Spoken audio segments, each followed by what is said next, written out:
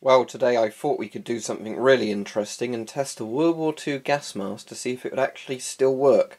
So what I have here is a British light anti-gas respirator, or light anti-gas mask, and I believe this is a Mark 1 as it has the flat front, but where I've seen pictures online, all the different versions are often mislabeled Mark 1 and Mark 2, so I can't be entirely sure.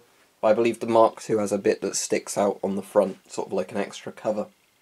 So, in 1943 this mask was developed, and the idea was, rather than having the normal general service respirators with a hose attaching to a big canister filter you'd wear on your haversack, you'd have a lighter 60mm filter that would go onto the side of the mask.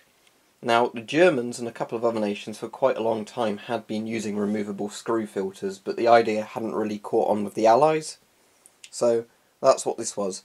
And you can see this bears a resemblance to many of the modern masks, this is sort of where you're coming into the modern mask territory with this thing.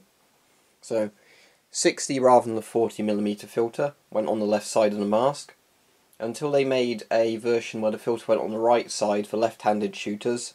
Left-handed shooters had to still keep their old masks, but this was ideally a lot lighter. It's a very similar face piece to the other masks. This particular one has some interesting history behind it because although it was a British one, you can see the 1944 original stamp on it, and there's 1944 on the rubber there. I guess 144 means January 1944. Um, it was actually sent to the Danish army when Britain got rid of it as surplus in the 60s when the S6 was introduced, and the Danes had it until they sold it on as military surplus after that. So I've got a British World War II mask that was used by Britain, then by Denmark, and now I own it again as a British collector, so that's fairly interesting. Now if you're saying that mask looks familiar, where have I seen it before? It's because the Canadian C3 is based on the second generation of this mask, or I said there would be a bit sticking out there. It's that bit there. Canadian C3 is a much more soft and nice rubber, a better voice diaphragm, and it actually has an inner mask. If I get that strap out of the way, you'll be able to see it. Maybe? Yeah, the inner mask nose cup is there. I'm not making it very easy on the video. There we go. To see, whereas the light anti-gas respirator doesn't have any of that inside. So, obviously the Canadian C3 is the much better one, much more modernised until Canada got rid of that. Still 16mm port. But, as I said, the light anti-gas respirator when Britain used it was a very advanced mask for the time. Maybe not with Germany and other nations, but for Britain it was, and this set the trend for lightweight, sort of canister on-side masks that we see today. I've got a 60 to 40 millimeter filter converter that came with it, that um, was issued with it from the Danish army. But I'm going to try a 60 millimeter Finnish filter on it first. If that doesn't work, then I'll go to a 40 millimeter modern filter. But I thought it'd be very interesting to test because people keep asking me to do a World War II gas mask test. With most of my World War II gas masks, that isn't safe to do because the filters are so old and contain asbestos. But with this thing, I can put a modern filter on it people have been asking me to test the my VM40, which I'm not going to do because it's a German mask. Nazi masks are very valuable. The rubber's in very good condition, so I want to keep it as is, boxed. But this thing I'm happy to test because you see them quite often as surplus and they're not very much to buy. So it'll be very interesting. If the rubber's held up on the inside of the valves, then the mask will still work. So let's get to testing it. Right, that's the mask on. It has no voice diaphragm, so I have to shout and then amplify the speech later. Now it's already fogging up because it's got no nose cup inside it. That's airtight when it's like that. But air can slightly get in. So for the sake of this video, I'll probably just fold it here to test it, because I'm mostly testing the seals this mask, not the straps. So, let's see if the Finnish filter works, if not we'll swap it to another 40mm filter.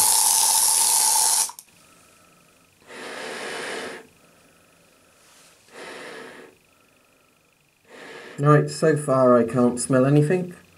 I'll keep my hand here and test. That seems pretty much airtight. So, I think the Finnish filter is working. Let's have a look at the mask then. I'll just take my hand away then I'll say if I smell anything. This is, um, as I said, it's fogging out quite badly now. British light anti-gas respirator from World War II. This model is dated 1944, but it entered service in 1943. Oh, I've broken the seal on the mask, I can smell that now. Let's see if I can get these straps a bit tighter. But as I haven't smelled anything for the first part, I think the mask itself works fine.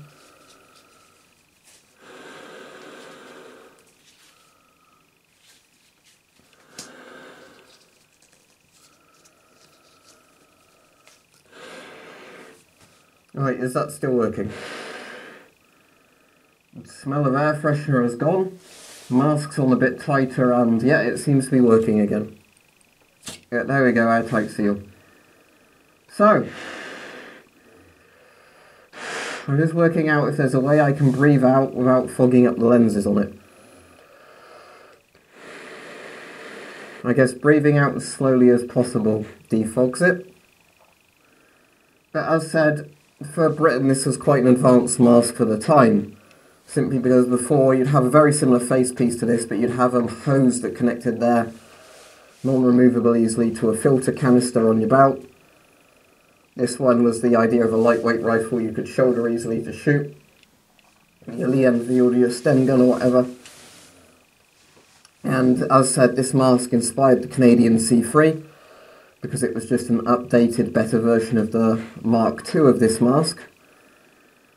And um, yeah, this mask was used in services in by Britain until the 60s when the S6 replaced it although apparently it was quite a while before they finally phased it out, somewhere into the 70s for all regiments and the sort of territorials and everything. And um, yeah, so and used this one by Denmark of all places. So that's a very odd thing, but that's apparently the case. I was wondering if I get that a bit tighter to my face. No, that's broken the seal doing it. Said, the problem is my chin's not fat enough for a lot of these masks. If I had more fat there, there'd be less of a gap. But the actual seals on this mask are working fine. It just doesn't fit my face that much. If I found a way to reliably tighten it, then it would be a good mask. But I am pretty certain that this mask, despite being dated 1944, is still working absolutely fine. So, this is the funny thing, and this is what I've tried to make the point to people that where sites say masks are obsolete and that you shouldn't buy them, surplus, military surplus masks are useless, all this, it totally depends on how well the mask has been kept and the quality of the mask originally. A mask like this, that is dated 1944, using a 60mm filter from the 1980s, is still somehow functioning. Now, of course, there are better modern masks, but the fact is, this would save your life if you'd put, let's say, for argument's sake, use the 60 to 40 millimeter converter, you put a brand new 40 millimeter NATO filter on it, you had the straps properly adjusted to your face, this mask in a gas attack would save your life, there's no doubt about it, because the seals still work. Of course, there are much more comfortable newer masks with better voice diaphragms, defogging system, nose cups, more comfortable straps and everything. But a mask from 1944 still works. And this is the thing I really want to try and get across to people.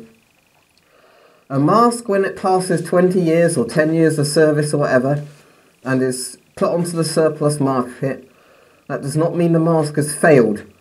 It's because militaries have very high standards, as well as sort of contracts and military industrial complex, of keeping soldiers using the latest masks. Because the masks are all rubber and metal, sometimes plastic.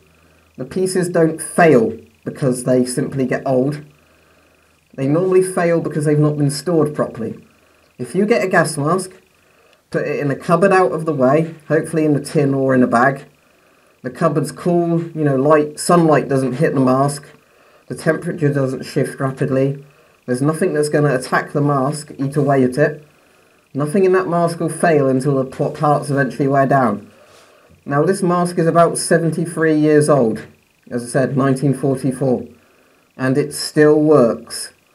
How crazy is that? So, there you go. A big thumbs up for the British light anti gas mask. It is still functioning 73 years on from when it was built. How good is that? I just took the mask off, tightened the straps. It is now really tight to my head, but perfect seal. So there you go. British Light Anti-Gas Respirator Mark 1 73 years old and still going strong. So there you go, World War II masks, as long as you can put a new filter on them, can still work.